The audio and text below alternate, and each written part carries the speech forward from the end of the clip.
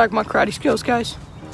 What's up, guys? Welcome back to another episode of Outdoors More. Today, we're doing something a little different. It is fishing time, springtime. Uh, bass are on bed, silver crappie, so we're not fishing, surprisingly. I'd like to be fishing, but we're out here making these videos for you guys, so first off, just uh, look at this. That's right, some new merch coming soon, coming soon.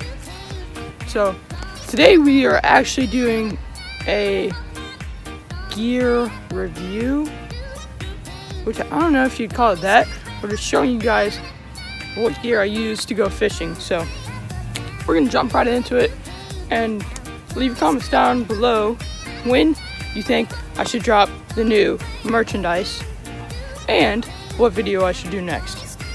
So stay tuned for that and I'll jump right into it. And today, wow, English is really tough. Into today's episode. There we go. So to start off, reels. Most important, you kind of need these. So rods and reels, um, you can get them just about any outdoor store. When traveling, for me, because I travel quite a bit, these are key. Collapsible poles. You put them together like that. They're like, I want to say you can get them for around 50 bucks. And this one is a Shakespeare six foot medium action. So this is what I use for crappie slash small lures for bass fishing. Um, it's on an open face. And this open face is a black Abu Garcia Black Max. Where is it? Abu Garcia Black Max. Yep. So this is the medium version. They have a small for crappie and a large for, well, I guess whatever you're doing with that. So this is my open face. I like to use this one. And on to the next one we have crappie. So my crappie pole I like something light. This is my heavier crappie pole. It's just not as flexible. What do you mean by light? So we got that. It's also another open face. Um, this one is, you guys probably haven't heard of this one. This brand before, Shock. I don't know if you guys can see that, but it's a, it is a what, six foot does not have the action on there, but it's a six foot rod. I think this one's also collapsible. Yep, also collapsible for easy traveling.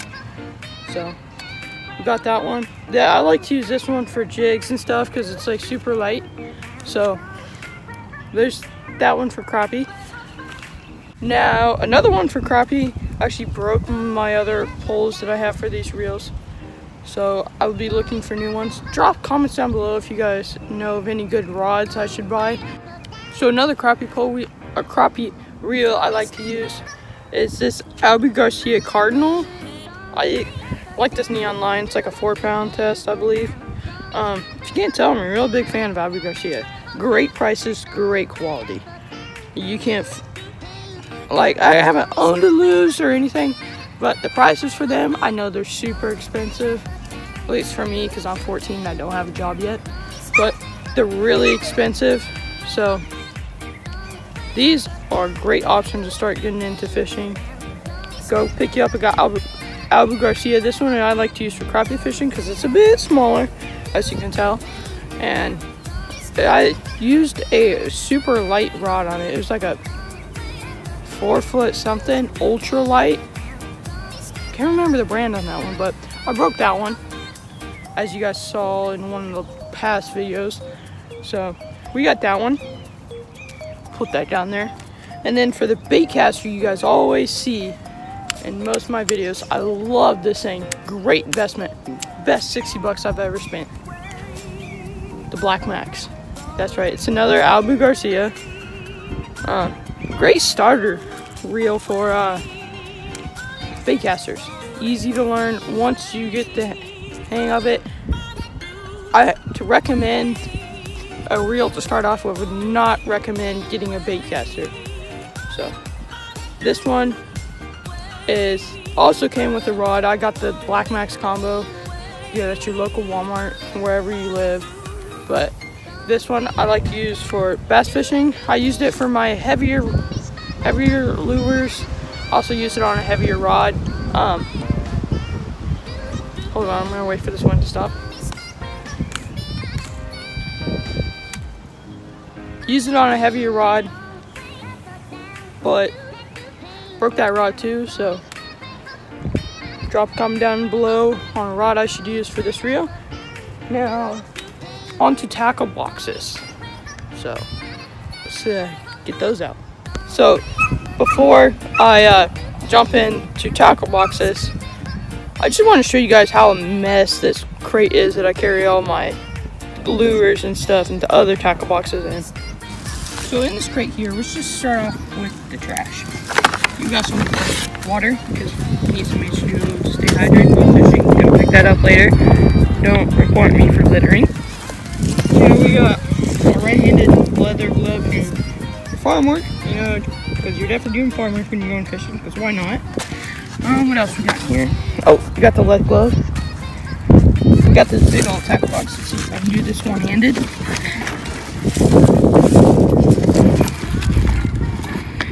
There's a handle.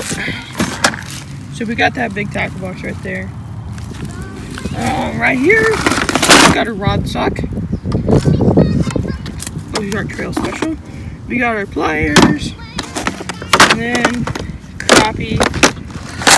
Crappie tackle boxes right here. We have a, our trail. Right there. Spinner bait here, I believe. Right there. So, let's just go ahead and hop into this big boy. So, on the top here, if I can get this open.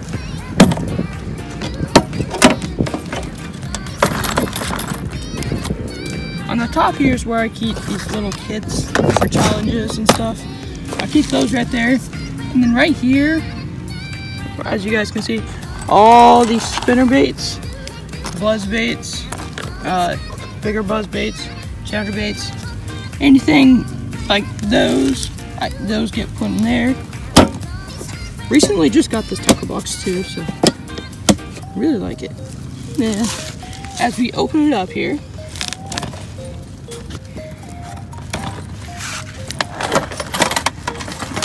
we have our plastic tackle boxes. This one looks like terminal tackle mostly.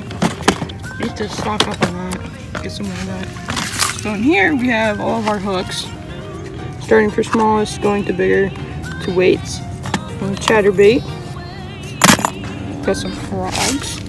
You know, saltwater frogs. Different colors, by the way, and there's only two. We have our uh, creature baits, some more creature baits as trailers, know. Got some Senkos with the hook in them. So who doesn't like to hook themselves? Alright, next tackle box. Ooh, this one's a good one. Soft plastics. Um, so, uh, as you guys can tell from my videos, I don't really fish soft plastics. This year I've just recently gotten into soft plastics, so I can tell you a little about a little bit about these. I don't really know a whole lot. These are lizards. Um, I can't think of that color right now, but this is green pumpkin black and green chartreuse, pumpkin, more pumpkin. These are curly tail worms. These are like Walker. Oh, I forgot what those were called actually. I'll just leave those alone. Lizards. This is actually the first color lizard that I caught my first soft plastic bass on. So be looking out for a video where I fish with all soft plastics this summer. Next one, more soft plastics, even though I don't fish with them a lot. And you guys may be wondering, well, why does he have so many soft plastics and he doesn't really use it? Well, that's because um, I'm a big fan of you guys and I thank you guys for your, for your support. And that's why I give back to you. And I recently just gave away all my hard baits, so that is the reason I have absolutely no hard baits besides the one that I, you guys saw in there. So I will be stocking up more on the summer. So make sure you guys stay tuned and subscribe for maybe a soft plastics giveaway with the tackle box. But in this tackle box, we got ourselves some Senkos. Um, forgot what those called. One really, I think that's a 10 inch curly tail worm. Um, got ourselves some, shoot, what, ah, forgot what those were called again. Flukes, two different colors. Can't remember what those are called. I'm ashamed of myself right now because I can't remember what anything's called. It's like stage fright, but for filming. Okay, crappie. Um, I actually don't know what's in this one because I recently just got this one from someone else. So, okay, a bunch of crappie jigs it looks like. So some colors I've never seen before. Just take you guys a good look at this.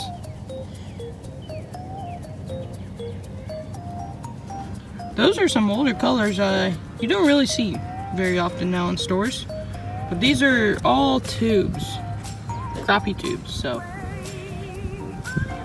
Alrighty, since we just opened that crappie tackle box, um, the one I had no clue what was in, now we're gonna move on to crappie, my crappie tackle boxes.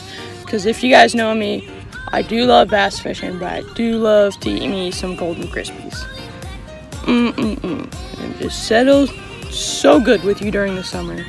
It would taste so good. So, if you guys want a video showing you guys how to fish these baits and when, where, everything about the bait, um, get this video to 40 likes and we'll be doing that. So, on to the crappie stuff. But before we get into crappie stuff, pliers. Big requirement when fishing because you never know when that when that uh, hook's gonna get stuck down the bass's throat, the crappie's throat, and you gotta do a little surgery on your fish there. So we got our, I believe these are, these are Rapala. I actually don't know how to pronounce this brand. If anyone knows how to pronounce this brand, it wouldn't show up. But if anyone knows how to pronounce that brand, please drop it down in the comments down below, because I know it's been a big debate with everyone, but I have no clue how to say it. But now on to, okay, crappie.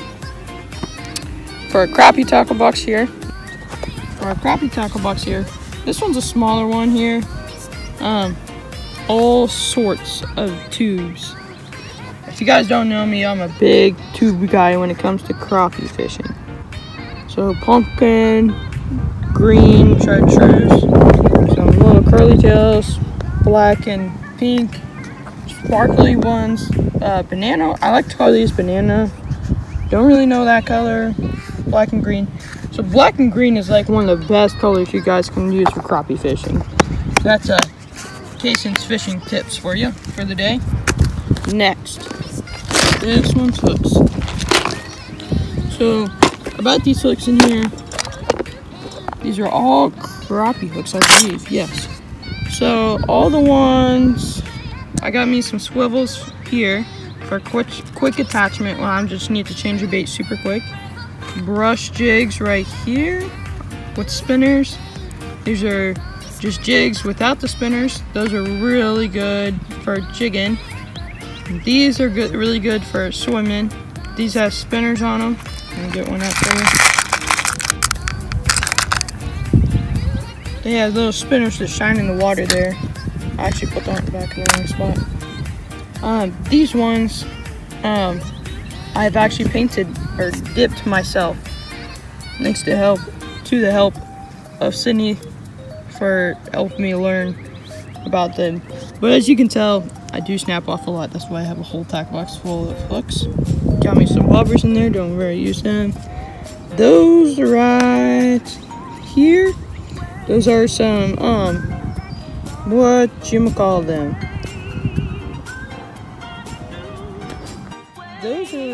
Like spinners, but can't really think of the name right now at the moment. But here we have some weights. Those should probably be in my tackle terminal box. My bass fishing terminal tackle box. Wow, that was tough to say. But Okay, on to the next one. close that up and set it aside over here. On to the next. Okay, okay. This is actually a bass fishing one. So, in this one we have our frogs, top water baits here, quad frogs, um, two of those frogs, and then we keep our jigs in these. I like to keep my jigs in this because you can get like two, two to three in here, if depend depending on the size. I like to sort them by color, so that's that. And the last thing in there is a stringer. Don't think you guys really want to hear about that, so. But uh, thank you guys for watching, and we'll catch you on the next one. But wait a minute. Before you leave, make sure you're subscribed and turn your post post notification, the little bell icon. Click it and scroll to all so you don't miss a single video that we post because you never know. There's some exclusive things that come out on YouTube that don't come out on any other social media. So stay tuned and we'll catch you on the next one. Peace.